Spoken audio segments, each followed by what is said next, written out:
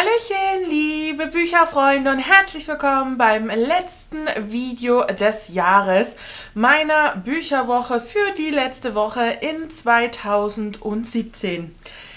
Ja, ich finde wirklich, der Dezember ist gefühlt gerannt und jetzt auch die Woche zwischen Weihnachten und Silvester, da ist äh, ja allerhand Schönes passiert mit Freunden der Familie und äh, ja, auch einfach ein bisschen freier Zeit für einen selbst und äh, ja, da vergeht die Zeit gefühlt. Ne? Das ist echt äh, ganz toll.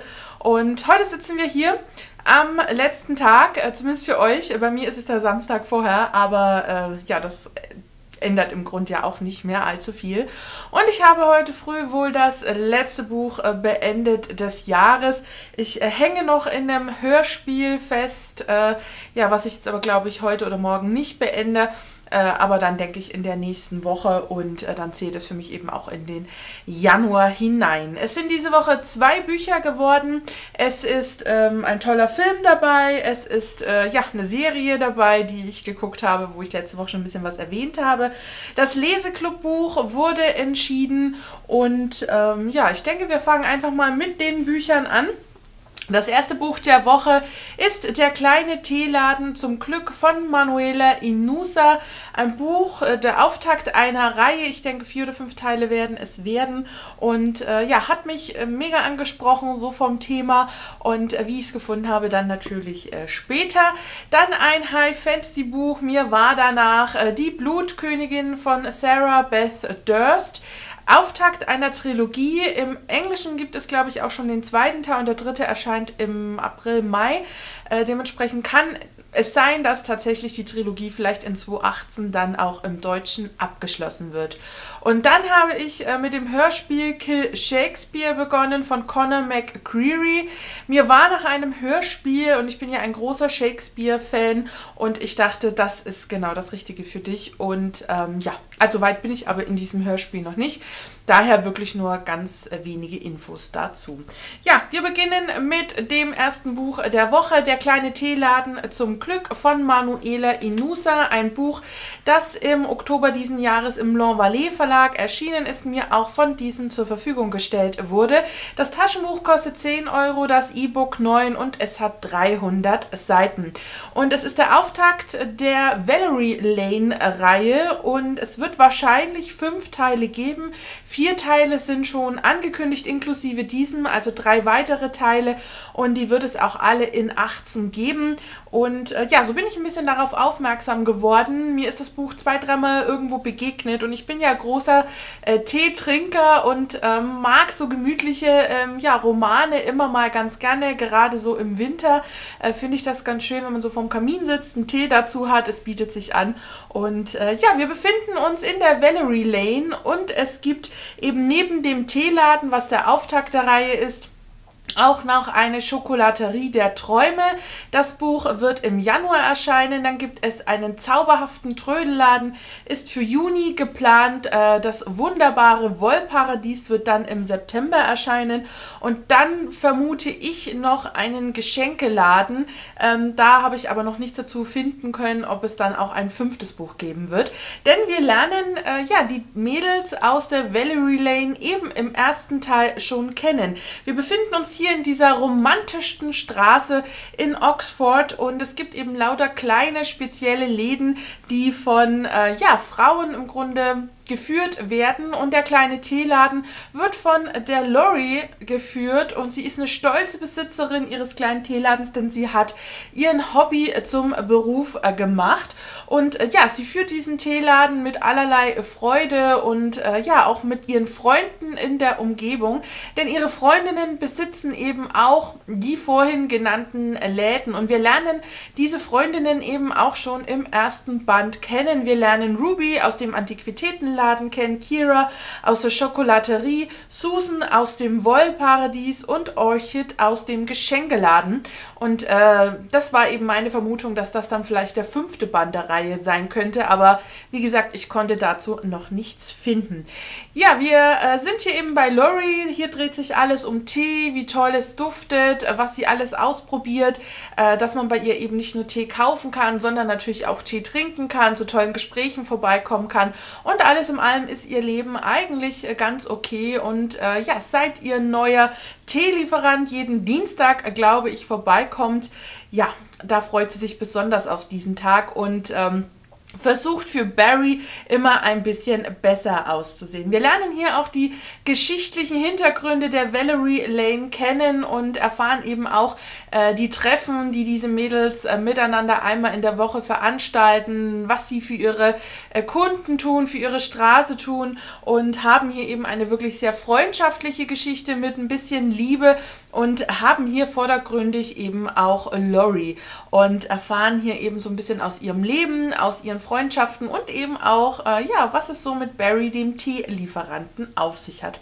Das Buch hat sich sehr schön und sehr schnell lesen lassen. Es ist ein sehr flüssiger Schreibstil, es ist alles sehr ja, ausführlich eigentlich erzählt, was zumindest die Umgebung angeht. Äh, da konnte man sich die Valerie Lane gut vorstellen, auch äh, ja, die, die, die Straße, die einzelnen Geschäfte. Was ein bisschen gefehlt hat, war die Beschreibung der einzelnen Freundinnen. Ähm, nicht nur was so das Aussehen angeht, sondern auch so ein bisschen, was die Einzelnen so ausmacht, äh, warum man eben befreundet ist. Ähm, nicht nur, dass einem die Straße verbindet, die Geschäfte, sondern was noch so ein bisschen dahinter steckt. Das hat mir so ein bisschen gefehlt.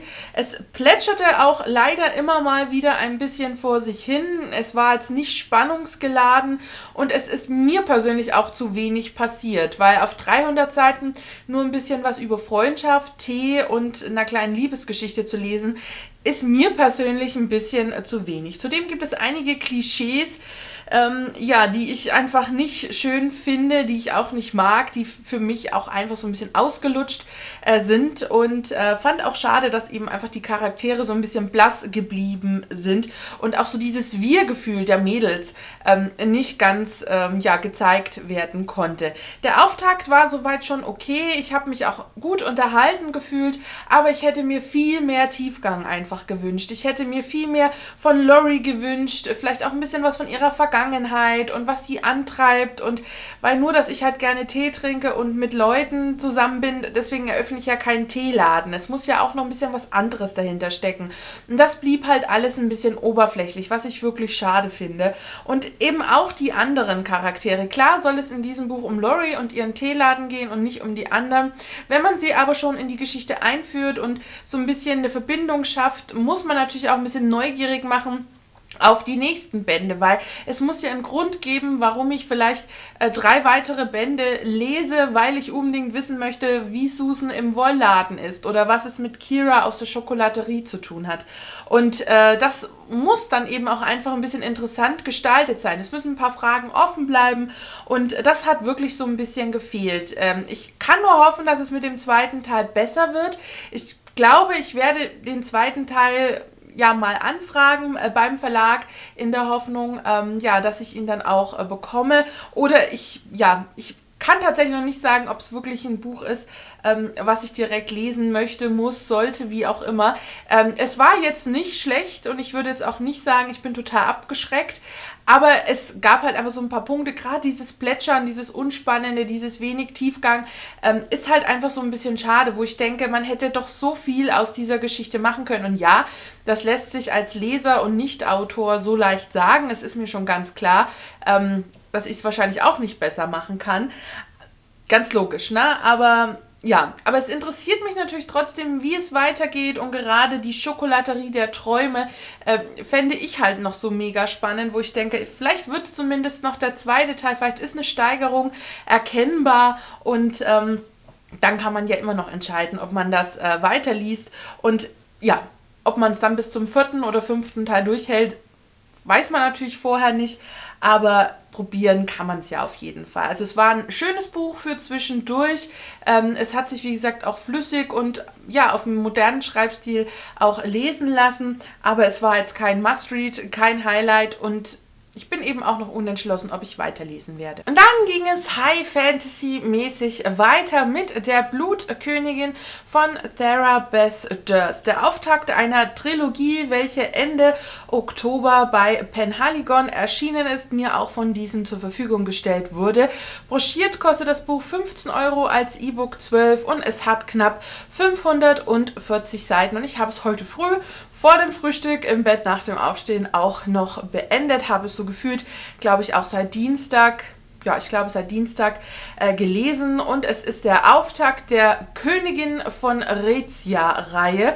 Im Englischen ist der zweite Teil bereits erschienen, der dritte ist, glaube ich, für April angekündigt und dementsprechend könnte ich mir durchaus vorstellen, dass auch das äh, deutsche, die deutsche Reihe in 18 vielleicht abgeschlossen wird, weil man könnte ja jetzt hier wirklich so halbjährlich eins der Bücher noch herausbringen und es dann Ende des Jahres enden lassen. Ja, mir war nach High Fantasy und ich finde es immer interessant, interessant, wenn Frauen echte High Fantasy schreiben. Das gibt es ja eher selten und bin da natürlich immer neugierig. Zudem klang eben auch einfach die Story der Blutkönigin mega spannend. Und zwar sind wir im Lande Rintia und hier gibt es Naturgeister, die nur zwei Dinge im Kopf haben, nämlich erschaffen und zerstören. Und da das natürlich nicht so richtig zusammenpasst und auch die Menschen bedroht, gibt es in jedem Königreich eine Königin, die eben die Geister kontrollieren kann und äh, ja, dafür dann auch eben die, die ganzen Naturgeister im Zaum halten kann. Und man braucht eben hierzu eine besondere Gabe und die findet sich bei der jungen Dalena aus dem Königreich Aratei. Und diese kommt nach einem Geisterangriff auf ihr Dorf, sozusagen auf ihr Land, äh, ihr etwas weiter entfernt von der Hauptstadt, dann eben zusammen mit ihrer Familie in die Hauptstadt und sie wird eine Auserwählte und wird somit an der Akademie für die Thronanwärter ausgebildet. Denn das Königreich braucht eben immer eine Königin, mit dieser Gabe die Naturgeister zu kontrollieren und es gibt ganz viele Anwärterinnen und die beste und die ja im Grunde wirklich erfolgreichste auf der Schule rückt, rückt dann im Grunde irgendwann nach, wenn die amtierende Königin äh, stirbt und äh, übernimmt dann eben den Platz der Königin. Sie selbst ist aber überhaupt nicht die Beste. Sie zweifelt sehr an sich und äh, durch den äh, ja doch etwas mutigeren äh, Einsatz ihrer Schwester versucht sie es aber, lässt sich auch nicht davon abbringen, als ihr das empfohlen wird und geht diesen sehr anstrengenden und steinigen äh, Weg. Und äh, ja, eines Tages wird sie dann auch noch von wen? Einen Meister, der äh, erwählt, der einst von der amtierenden König äh, verraten wurde. Und ja, hier merkt man schon ein bisschen, spätestens hier wird es spannend und ähm, ja, man wird neugierig. Und das Gemeine ist, dass das Buch sehr gemein endet und ich äh, jetzt tatsächlich schon überlege, nicht einfach das englische Buch zu lesen. Aber ich persönlich finde es in der Reihe immer so ein bisschen schwierig. Aber also so zu, zu switchen innerhalb der Sprachen. Aber aber ähm, ja, es war das erste Buch, was ich gelesen habe von der Autorin. Ich habe äh, auf Lovely Books und nach Amazon schon gesehen, dass es äh, ja, vorhergehende Bücher schon von ihr gibt, bin aber irgendwie über die Blutkönigin gestolpert und fand einfach diese Story super spannend und mochte das Buch wirklich sehr, sehr gerne. Mich hat ähm, ja, nicht nur der Klappentext angesprochen, sondern eben auch dann dieses ganze High-Fantasy-Setting. Es ist eine grandiose Idee mit den Naturgeistern. Es ist eine tolle Idee, wie das Königreich funktioniert, wie die Weitergabe ähm, ja im Grunde der Krone geschieht. Das ist schon mal etwas anderes, etwas Außergewöhnliches. Es ist sehr kreativ. Auch wie diese Welt äh, funktioniert, wie äh, die Menschen leben, dass die in Bäumen leben, dort ihre Häuser gebaut sind, dass sie über Brücken miteinander verbunden sind und und über Wege, die eben von Baumkrone zu Krone gehen. Das hat mich natürlich ein bisschen an manche Elben erinnert, äh, nicht nur aus, aus Mittelerde, sondern aus anderen High-Fantasy-Geschichten. Aber ich fand das hier einfach toll, so dass das mal so ein bisschen anders wirkte. Also man kann das jetzt so schlecht beschreiben, aber es war, hat sich einfach anders angefühlt, sehr kreativ und äh, es war modern und trotzdem hat es eben so dieses alte Gefühl von High-Fantasy vermittelt, was ich unglaublich mochte. Ich mochte auch den bildhaften Schreibstil. Also man kann sich die, die Protagonistin vor vorstellen, man kann sich ihre Familie, die Akademie vorstellen, die amtierende Königin, man kann sich auch Wen vorstellen, der eben auch einen Erzählstrang bekommt, man kann sich die Welt vorstellen, diese Bäume, das ist wirklich wahnsinnig bildhaft erzählt, das ist sehr fantasyreich und man hat eben wirklich ein Kopfkino im Kopf. Und es gibt ganz, ganz tolle, fantastische Elemente, die sehr lebendig und modern eingeführt und eingearbeitet waren, was echt großen Lesespaß gemacht haben.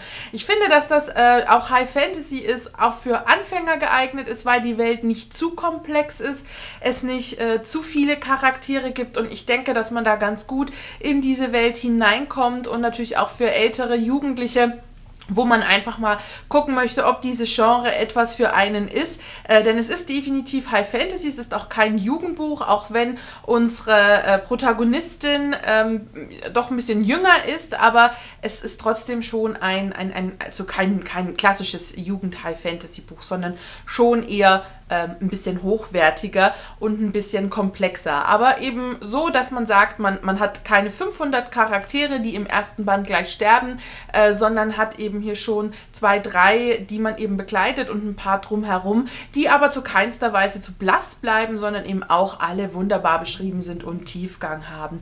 Äh, ich fand auch die Idee einfach dieser Naturgeister super spannend, wie die funktionieren, wie die sich kontrollieren lassen, äh, dass man die eben auch für ganz andere Dinge noch nutzen kann. Das fand ich neuartig und wirklich toll gemacht. Und auch eben so dieses Leben in den Bäumen. Das konnte ich mir einfach ganz lebhaft vorstellen und ähm, fand das irgendwie sehr cool. Also das wäre, ich suche mir jetzt auch mal einen Baum und äh, ja, werde da mir ein Häuschen bauen. Es gibt eine kleine Liebesgeschichte, die ich äh, wirklich eher äh, sehr im Hintergrund empfand, was eben der Unterschied zu, zu diesen klassischen Jugendbüchern wäre, wo natürlich die Liebesgeschichte oft im Vordergrund steht. Das hat man hier sehr dezent eingebaut und fand ich wirklich realistisch und schön äh, gezeichnet und äh, ja, es hat einfach Spaß gemacht, da Lena äh, sozusagen auch zu verfolgen. Leider und das ist mein Kritikpunkt an der Geschichte. Gab es doch die ein oder andere Länge.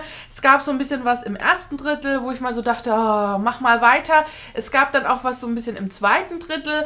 Und gegen Ende hin war es dann aber wirklich mega spannend. Und ähm, ja, wenn man dran bleibt, hat man wirklich eine ganz tolle Geschichte, die ich wirklich gelungen finde, die mir Spaß gemacht hat. Und wenn eben diese Längen nicht ganz so lang gewesen wären, dann wäre das wirklich ein absolutes Highlight geworden. So ist es, ich sag mal, ein kleines High-Fantasy-Highlight, hat mich wirklich gut unterhalten die Tage und hat mich wieder so in mein Element zurückgebracht, was ja High-Fantasy eben einfach ist, was ich gerne lese und ich glaube in diesem Jahr auch einfach viel zu wenig gelesen habe und froh bin, dass ich ähm, ja das so als Abschluss äh, in diesem Jahr gelesen hatte. Und kann ich wirklich empfehlen. Ich freue mich auf die anderen Bände und werde das auf jeden Fall im Auge behalten und bin wirklich happy, dass ich die Blutkönigin entdeckt habe und dass mir das auch vom Verlag zur Verfügung gestellt wurde, was mich wirklich freut.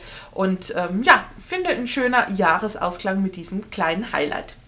Nebenbei so ein bisschen gehört habe ich ein Hörspiel von Audible, Kill Shakespeare von Conor McGreary.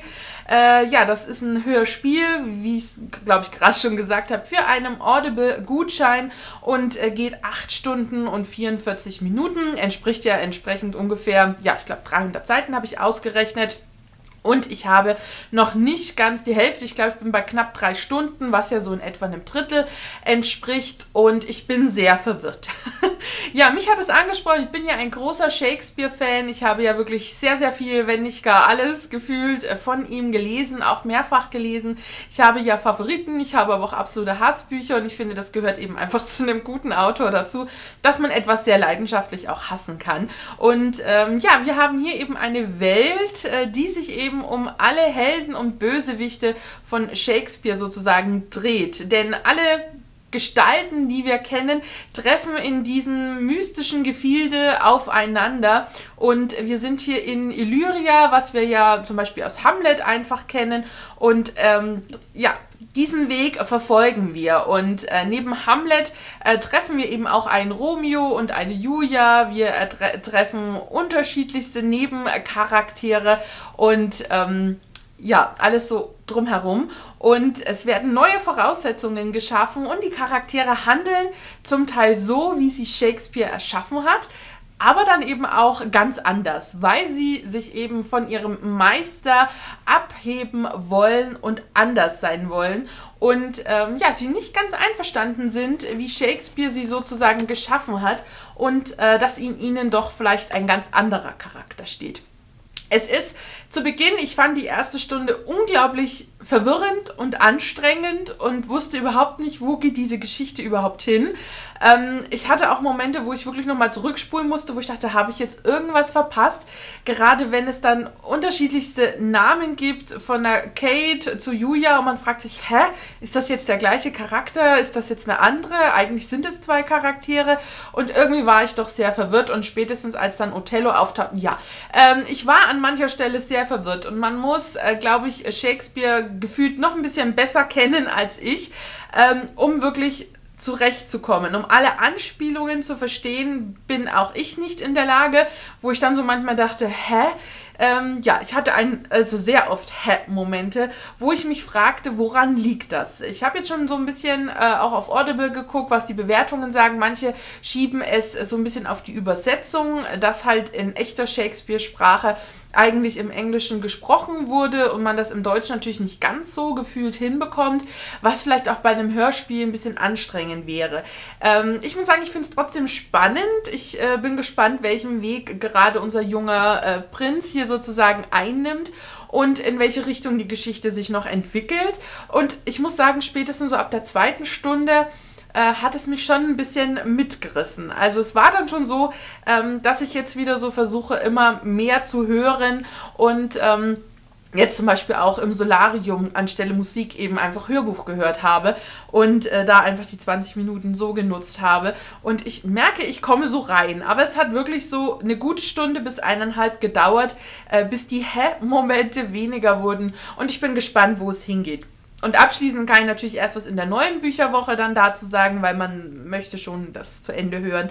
Ähm, um dann eben zu entscheiden, war es gut, ist es empfehlenswert und wie viel Shakespeare muss man wirklich kennen. Es ist halt natürlich schwer zu sagen, ähm, wie geht es Leuten, die keine Shakespeare-Vorkenntnisse haben, ähm, kann ich natürlich nicht beurteilen, ne, weil ich habe einfach welche. Und das ist dann immer so ein bisschen, wo ich denke, hm, wie kriegt man das rüber und erklärt und wäre es nicht einfacher, was anderes gehört zu haben.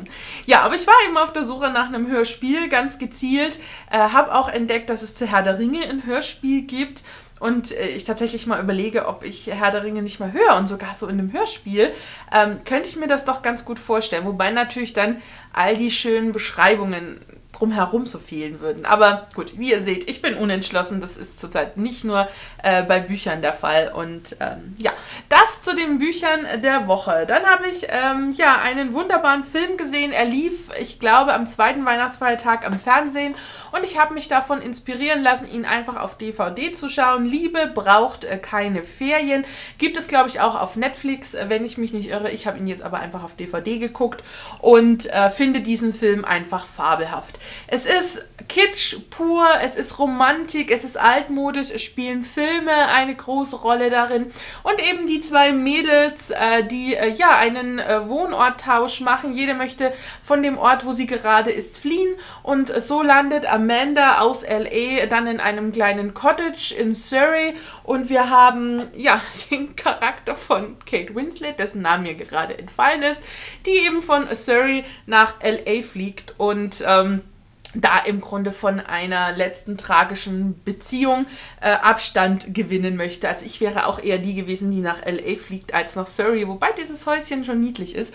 Ja, und dort treffen sie dann eben, ähm, ja, hier in dem Fall Amanda in Surrey auf den Bruder und ähm, ja, ich muss jetzt mal nachgucken.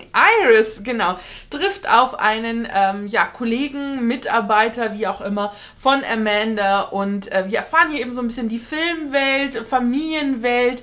Äh, wir haben hier eben so, so ein bisschen zarte Anbändelungen. Wie kann Liebe funktionieren? Wie klappt das nach einem One-Night-Stand? Und ähm, ja, was äh, so ein bisschen der, der Wind in L.A. Äh, vielleicht an Gefühle vorbereitet. Und ich finde diesen Film einfach großartig. Ich lache, ich weine, ich träume mit, wenn hier über Soundtrack zu Filmen gesprochen wird, die ich auch kenne, wenn über Gary Grant geredet wird. Ach, ich finde das immer so großartig. So ein bisschen altes Hollywood und ähm, ja, man bekommt da so ein bisschen ein Gefühl mit. Ich mag den Film unglaublich gern, habe ihn schon einige Male gesehen, war auch damals im Kino und er hat einfach für mich perfekt auch zum zweiten Weihnachtsfeiertag gepasst und fand ich wirklich ganz schön. Absolute Empfehlung, äh, finde ich wirklich großes Kino und ich bin Fan von, von den Schauspielern und ähm, ja, auch Robert De Niro, nein, Dustin Hoffman hat eine kleine Rolle, ja, und äh, finde ich großartig. Macht großen Spaß und ähm, ja, macht einfach Spaß und hat mich gut unterhalten. Dann habe ich ja letzte Woche schon gesagt, äh, dass ich zusammen mit meiner Schwester die siebte Staffel Game of Thrones anschaue und wir haben auch äh, ja jetzt die letzten zwei Folgen, glaube ich, angeguckt diese Woche. Für meine Schwester war es das erste Mal, dass sie äh, die Staffel gesehen hat. Für mich ja das zweite, beziehungsweise bei manchen Folgen auch das dritte Mal. Ich neige ja dazu, mir Folgen durchaus zweimal anzugucken, wenn sie herauskommen. Und ähm, ja, es ist eine gute Staffel, gar keine Frage. Es ist nicht meine favorisierte Staffel. Es gab auch in den letzten zwei Folgen genügend Dinge, die mich aufgeregt haben. Gerade die vorletzte Folge ist für mich an vieler Stelle sehr aufregungsreich und ähm, ja, mal gucken, wo es sich hin entwickelt. Ich ähm, habe einfach das Gefühl, dass seitdem die Vorlage fehlt von George R. Martin, dass ähm, ja, die Serienmacher sich ein bisschen schwer tun, die Geschichte so zu erzählen, wie also wie ich sie zumindest zu Beginn verstanden habe, auch manche Entwicklungen von Charaktere wirken für mich so ein bisschen, ja, hölzern, stelzern, gestellt, wie auch immer. Es ist nicht immer alles, ähm, was mich hier äh, Juhu schreien lässt. Es gibt auch manches Verwirrendes, was sich dann zwar so auflöst, aber man fragt sich immer so, hm, macht das wirklich so Sinn? Ähm, und gerade so das Ende, oh, ja, das, ja, man kann nur mit dem Kopf schütteln. Ist, ja, also einfach so die letzte Szene ist wirklich was, wo ich denke, oh, größeren Schmarrn konnte man nicht machen. Es ist natürlich spannend, es ist packend und ich freue mich auf Staffel 8 und hoffe einfach, dass Staffel 8 äh, wieder so wird, wie ich Game of Thrones wirklich liebe, äh, wie es Staffel 1 bis 5 im Grunde war. 6 war ja schon an mancher Stelle so ein bisschen holprig, äh, wenn auch Großartiges passiert ist, aber Staffel 7 war halt für mich persönlich mal was ganz anderes und doch sehr untypisch Game of Thrones.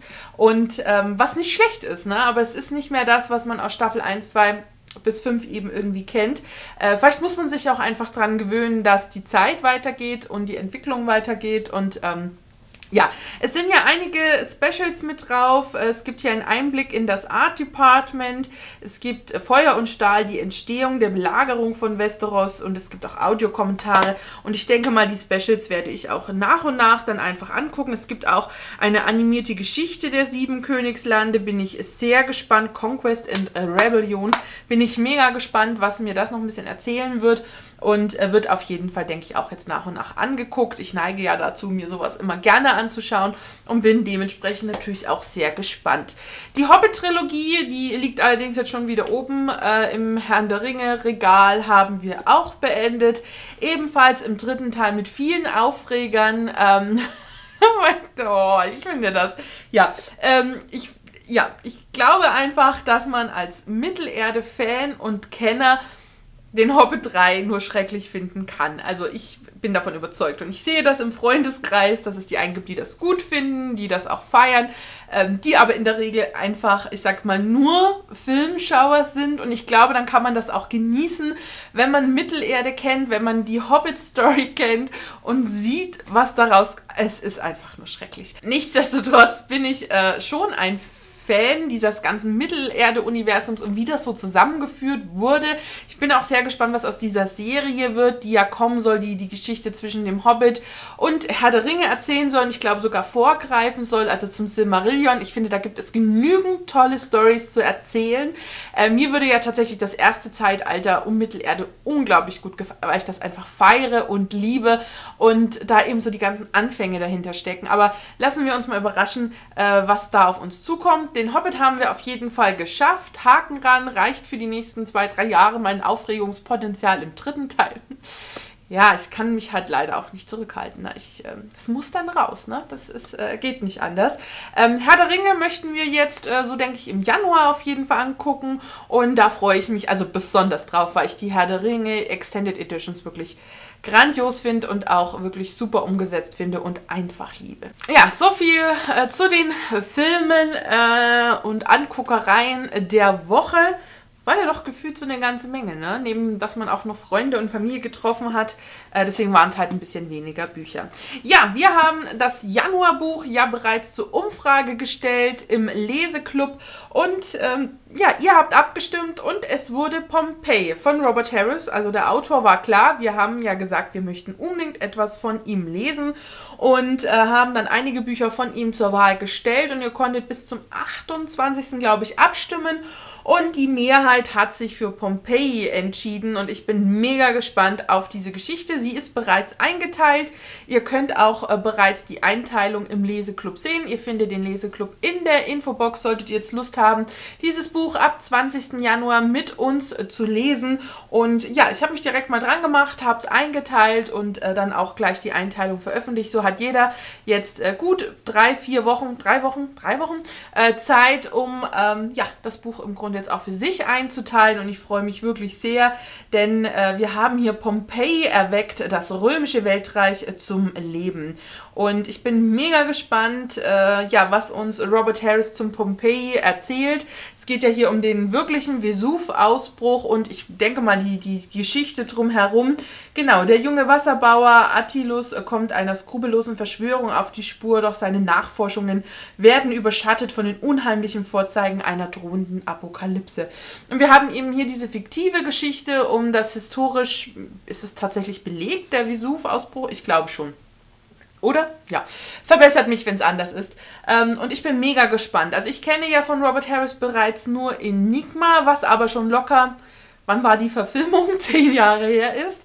Äh, hatte ich damals vor der Verfilmung mit Kate Winslet äh, gelesen. Auch ein ganz, ganz toller Film, wie ich finde den ich, äh, glaube auch schon zwei, dreimal gesehen habe. Und ich bin sehr gespannt auf Pompeii und ich denke, dass das nicht unser letzter Harris ist. Ich selbst habe ja, glaube ich, zwei Bücher dann noch von ihm auf dem Sub, wenn es nicht drei sind, ähm, und möchte zum Beispiel auch äh, Konklave gerne hören. Ich brauche allerdings erstmal wieder einen Gutschein äh, und dann mal gucken, äh, wann ich das hören werde. Und ich freue mich sehr darauf, dass es dieses Buch wird und ich denke dann auch, dass wir Anfang Mitte Januar die Umfrage für das Februarbuch machen werden. Dann werden wir einfach mal gucken, was da als nächstes uns so einfällt und gelesen wird.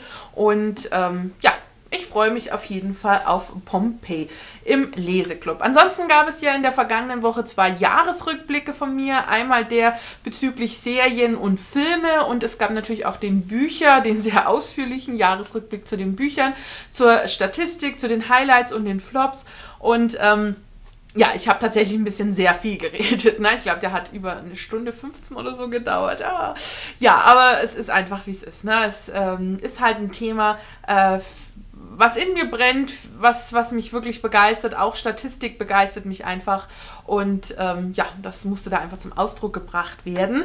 Äh, für die kommende Woche ist auf jeden Fall das Neuzugänge-Video für Dezember geplant. Äh, das werde ich jetzt auch gleich im Anschluss drehen.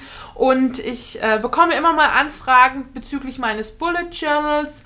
Und äh, da ich jetzt äh, so die, die grobe Planung, die groben Listen äh, für 2018 fertig habe und auch die Monatsübersicht ähm, für den Januar und die ersten zwei Wochen im Januar fertig habe, ähm, ja, denke ich, werde ich auch dazu ein kleines Video ähm, machen. Klein, mal gucken wie lange es dauert, weil natürlich auch immer ein paar Fragen, äh, was ich denn da so mitführe, wie meine Übersichten aussehen, wie ich äh, Geburtstage plane und sonstiges. Und äh, ja, das ähm, ja, denke ich, äh, werde ich einfach mal mit abdrehen, äh, bevor ich dann wirklich wichtige Dinge sozusagen eintrage. Und ähm, ja, es ist ja schließlich schon soweit, ne? Meine Güte, wie die Zeit vergeht. Ähm, ja, und ich denke, es gibt jetzt auch gar nicht äh, groß irgendwie mehr zu erzählen. Ich wünsche euch jetzt auf jeden Fall einen guten Rutsch. Hoffe, dass ihr ganz gut aus diesem Jahr herauskommt und in das neue hereinkommt oder wenn, je nachdem, wann ihr das Video seht, dann ebenfalls auch schon reingerutscht seid. Und ich, ähm, ja, freue mich auf ein neues Jahr, das gefühlt eigentlich nur besser werden kann als das diesjährige, zumindest was so das Private betrifft. Lesetechnisch, glaube ich, kann es gefühlt gar nicht besser werden.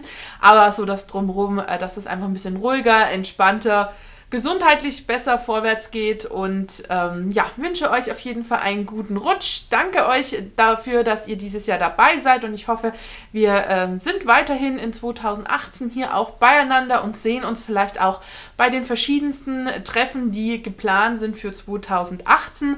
Kommt gut ins neue Jahr. Ich danke euch fürs Zusehen, wünsche euch noch einen schönen Tag, einen schönen Abend und bis zum nächsten Video. Tschüss, eure Steffi.